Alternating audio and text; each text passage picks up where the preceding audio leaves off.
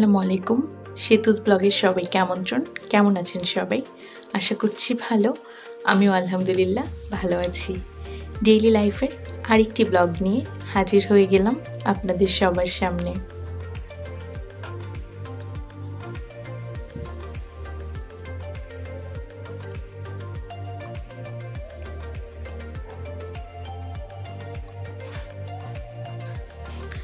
সকালবেলা এরকম সুন্দর কবুতর দেখতে কিন্তু বেশ ভালো লাগে।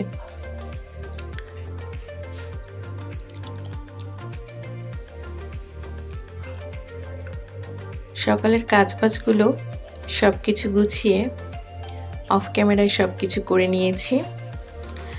শুধু রান্নার আর খাওয়াই তো বাসাবাড়ির কাজ না, এর বাহিরেও অনেক কাজ থাকে, তো ওগুলো সব গুছিয়ে চলে আসলাম সরাসরি রান্নায়। আর তখন থেকে ক্যামেরাটা অন করে দিলাম। আপনাদের সাথেও শেয়ার করব। আজকের দিনটি আমার কীরকম যাবে, কি কি করব। তো আজকে হচ্ছে শর্টকাট রান্না করব। একটু চিকেন আর সবজি দিয়ে ভাবলাম খিচুড়ি করি, কারণ আমার বের হতে হবে। তো হয়তো বা দুটা আড়াইটার মধ্যেই বের হয়ে যাব। আরাফকে নিয়ে একটু কাজ আছে। তো দেখতে থাকুন পুরো ব্লগটি তাহলেই দেখতে পারবেন। আর আমার ব্লগটি দেখা শুরু করে আপনাদের যদি কোথাও কোনো অংশ একটু হলেও ভালো লেগে যায়, তাহলে প্লিজ একটা লাইক দিবেন।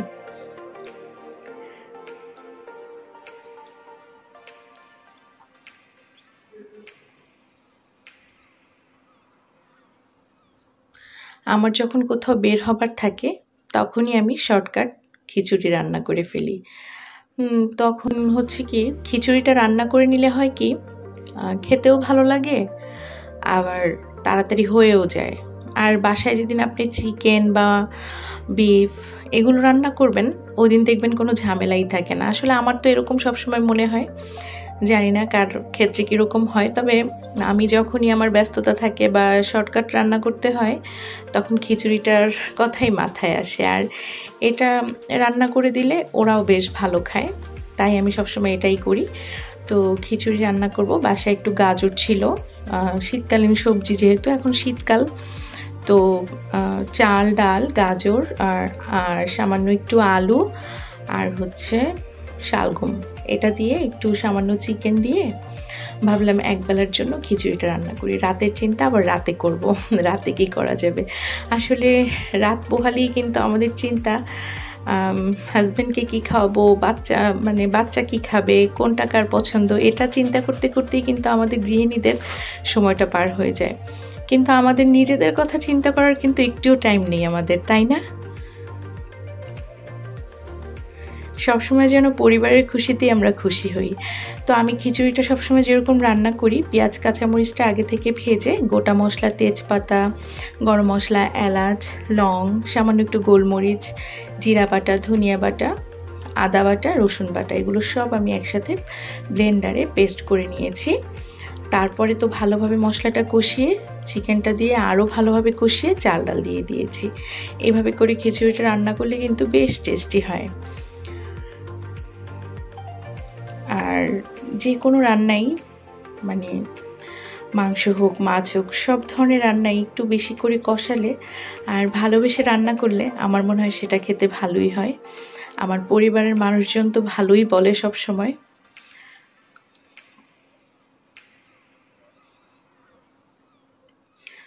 তো আরাফের স্কুলের ভর্তির ব্যাপারে আজকে একটু বের হতে হবে। মানে ওর ছবি তুলতে হবে। তারপরে কিছু কাগজপত্র, ওগুলো একটু গুছানোর কাজ আছে। তো ভাবলাম আজকেই করে ফেলি, কারণ বেশি সময় বাকি নেই। এর মধ্যে ভর্তি, বই কেনা সব কিছুই আছে। আর যেহেতু এক তারিখ থেকে ওদের ক্লাসটাও শুরু হয়ে যাবে ওইভাবে। তো আমি আগে আগে সব কিছু একটু গুছিয়ে ভর্তির ব্যাপারে ছবি টবি তোলার ব্যাপার আছে, তো ওগুলো একটু গুছাবো, সেজন্য নাম বের হতে হবে। আর আমাদের নিজেদেরও টুকিটাকি কিছু আরাফের জন্য স্কুলের গাউন মানে শীতের পোশাক যেটা স্কুল ড্রেসের সাথে পরার জন্য, জুতা, এগুলো টুকিটাকি একটু কেনাকাটাও আছে। তো তাই ভাবলাম যে দুপুর দুপুর একটু বের হলে তাড়াতাড়ি বাসায় চলে আসা যায়। তো আমি এখানে আমার আন্দাজ পরিমাণ পানি দিয়ে দিয়েছি। কিন্তু আপনারা যখন খিচুড়িটা রান্না করবেন, যেসব নতুন গৃহিণী আপুরা আছে, দুই কাপ চাল দিলে চার কাপ পানি দিবেন। এভাবে করে রান্না করবেন। যতটুকু চাল ডাল, তার ডবল পরিমাণ পানি। তাহলেই কিন্তু পারফেক্ট হবে। আর এখন আমি রান্নার শেষে আরাফকে গোসল করিয়ে খাইয়ে নিয়েছি।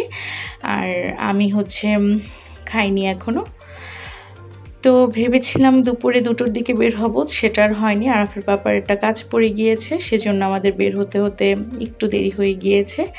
তো তারপরে আমরা চারটার দিকে বের হয়ে গিয়েছি, আর এখন হচ্ছে যে স্টুডিওতে এসেছি, ওর স্কুল ড্রেসটা সাথে করে নিয়ে এসেছি। ওদের মানে স্কুলের পোশাক পরি ছবিটা তুলতে হবে, সেজন্য। আর এখানে তো একটু লজ্জা পাচ্ছে। তাও মাসাল্লাহ লক্ষ্মী ছেলের মতো ছবি তুলেছে, কোনো দুষ্টুমি করেনি। খুব এক্সাইটেড ছিল সে। তো ছবি টবি তোলা শেষ করে আমাদের বাকি কাজকর্ম সব কিছু শেষ করে চলে আসলাম একটু নদীর পাড়ে চা খাব। চা খেয়ে একটু রিফ্রেশ হব আর কি। মাথাটা একেবারে হ্যাং হয়ে আছে। এই আরাফের ভর্তি সব কিছু নিয়ে না কদিন ধরে খুবই মানে ব্যস্ত, কি হবে না হবে। এই সব আর কি টুকিটাকি। আর আমার আমার আমার আবার সব কিছুতে একটু বেশি টেনশন হয়। তো আমি হচ্ছে এখানে কালো জিরা লেবু, পুদিনা পাতা, আদা সব কিছু মিক্স করে একটা লাইট চা খেয়েছি।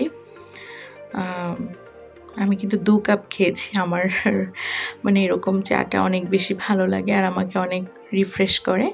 তারপরে হচ্ছে আরাফ এখানে আলুর টর্নেডো খাবে। এটা ওর অনেক ফেভারেট টর্নেডোটা এইভাবেই বানানো হয় আমার কাছে ফ্রেঞ্চ ফ্রাইয়ের থেকে। ফ্রেঞ্চ ফ্রাই টর্নেডো সবই তো আলু, ওই এটা হচ্ছে গোল গোল করে কাটা, সেজন্য টর্নেডো আর ফ্রেঞ্চ ফ্রাইটা হচ্ছে লম্বা করে কাটা, সেজন্যই মনে হয় ফ্রেঞ্চ ফ্রাই। যাই হোক তো এটাই এখন আমরা মানে আরাফ খাবে, আরাফের পাপা খাবে। তো আমিও একটুখানি খেয়েছিলাম, আরাফের বেশ পছন্দ, সেজন্য এখানে এসেছি। এটা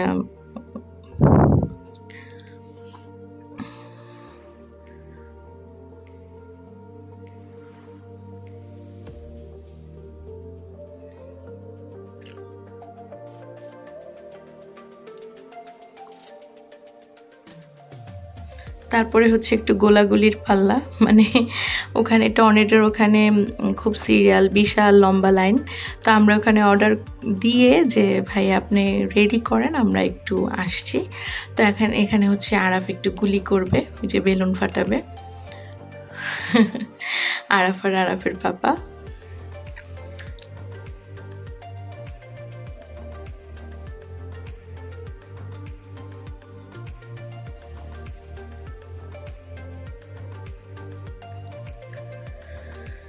তো আরাফের পাপার রিকোয়েস্টে আমিও একটু মাতব্বরি করতে আসলাম।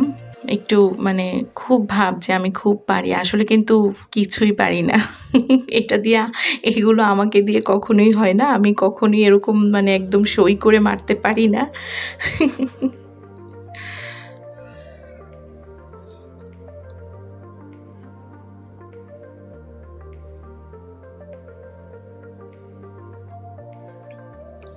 তো বাসায় এসেছি, অনেকক্ষণ হয়ে গিয়েছে। আমার আরফের পাপা আমাদেরকে নামিয়ে দিয়ে অফিসে চলে গিয়েছে, তারপরে রেস্ট নিয়েছি। এখন হচ্ছে আবার সেই রাতের খাওয়া দাওয়া রেডি করতে চলে আসলাম। তো ভাবলাম কি খাওয়া যায়? যেহেতু একবেলার খিচুড়ি রান্না করেছিলাম। আর খিচুড়ি আর একটু ছিল, ওটা আর খেতে ইচ্ছা করছে না। তো ভাবলাম একটু বাসায় থাকা উপকরণ দিয়ে একটু স্যুপ রেডি করে নেই। আর একটু অন্থন বানিয়েছিলাম। এটাই ছিল রাতের খাবার আমাদের। শীতকালে এরকম খাবার দাবার কিন্তু বেশ ভালোই লাগে লাইট একটা খাবার। পেটও ভরে, মনও ভরে, আর একটু আনকমন খাবার দাবার মাঝে মাঝে এরকম একটু হলে তো মন্দ হয় না, তাই না? তো আমি এখানে মুরগির বুকের মাংস, সামান্য একটু চিংড়ি মাছ সয়া সস গোলমরিচ, সামান্য একটু সয়াবিন তেল সব কিছু একটু তেলের সাথে ভেজে তারপরে হচ্ছে আমরা যে নর্মাল ম্যাগি স্যুপটা খাই ম্যাগি হেলদি স্যুপ যেটা, ওটার দুই প্যাকেট গলিয়ে রেখেছিলাম।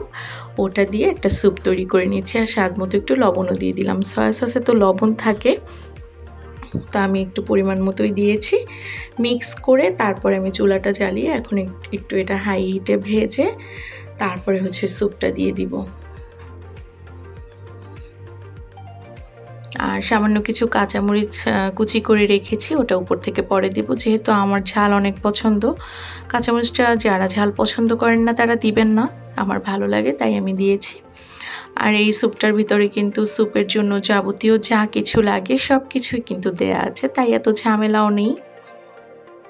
সুন্দর একটা ফ্লেভার বের হয়, এটা খেতে গেলে। খুব সুন্দর একটা স্মেল আমাদের কাছে এই স্যুপটা ভালো লাগে। দেখা যায় আমরা শীতকালে এটা প্রায় রাতেই আমাদের খাওয়া হয়, ভালো তো আজকে ভাবলাম এটা যেহেতু করছি, একটু স্পেশালভাবেই করি, সাথে একটু অন্থনও তৈরি করি।